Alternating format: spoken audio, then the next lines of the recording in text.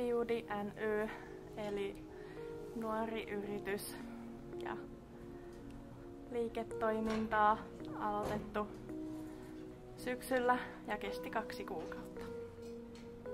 Me haluttiin tehdä porkkana jotain juttuja, koska porkkanat on kivoja. Niin me sovellettiin sitä keittiöpyyhkeisiin ja niitä samoja väre, tai samoilla väreillä tehtiin sitten pannualusia ja tommosia poppana liinoja.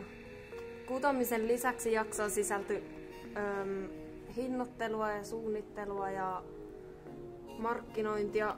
Sitten me käytiin muutamilla messuilla täällä Hämeenlinnassa.